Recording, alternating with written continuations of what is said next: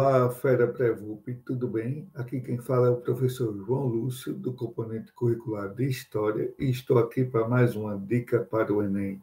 Dessa vez, explorando um pouquinho o período de domínio holandês aqui no Brasil, passando pela União Ibérica, as invasões holandesas e a insurreição pernambucana.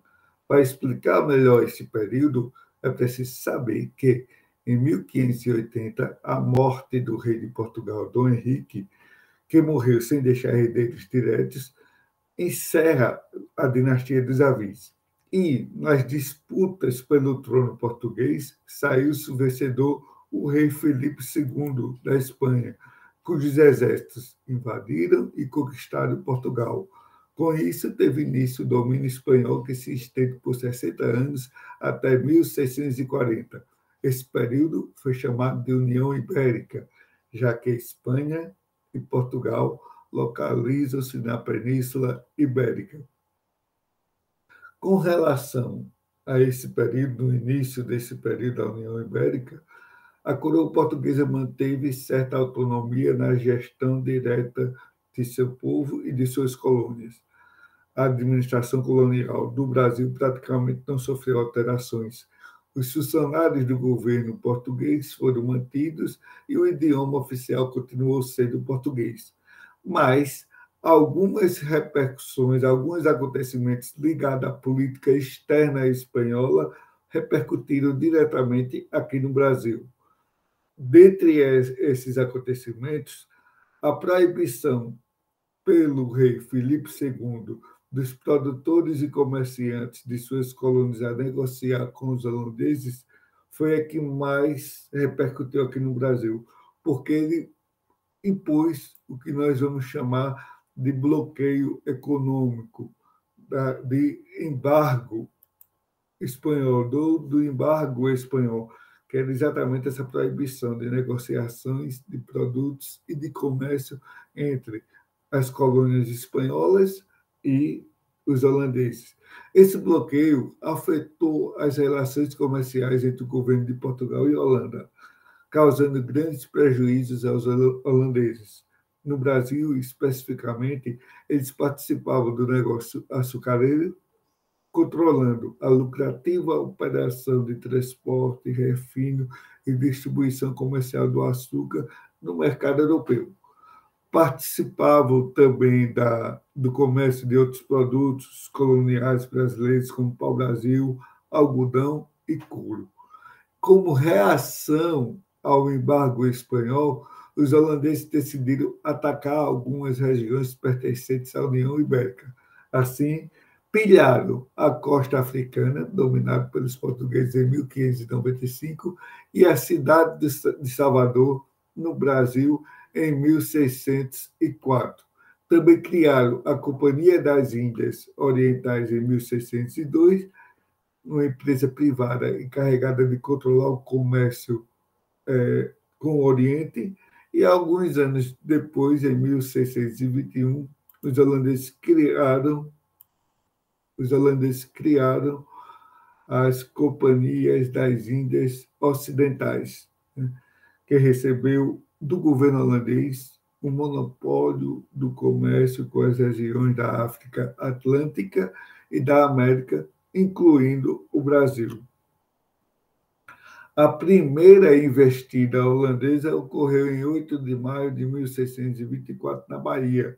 Embora tenha ocupado Salvador, os holandeses não conseguiram permanecer na cidade por muito tempo as forças lusitanas portuguesas impediram a ocupação do território, utilizando táticas de guerrilha e contando com o reforço de tropas espanholas e guerrilheiros indígenas. Em 1625, os holandeses se retiram de Salvador, mas se preparam e retornam em 1630 para uma segunda investida, uma poderosa investida com uma poderosa esquadra, foi aparelhada para conquistar Pernambuco, a capitania mais atraente da época devido à produção de açúcar.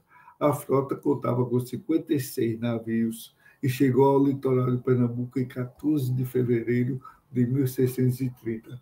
sem forças suficientes para enfrentar os holandeses, as tropas lideradas por Matias de Albuquerque, governador de Pernambuco, da capitania de Pernambuco na época, refugiaram-se no interior do território onde fundaram o Arraial de Bom Jesus. O Arraial tornou-se o principal foco de resistência contra os holandeses e a tática é, empregada por Albuquerque foi a guerrilha.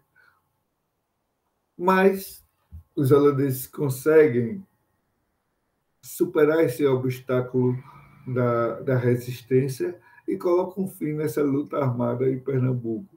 E as companhias das Ilhas Ocidentais concentram-se na tarefa de reorganizar a administração da região conquistada.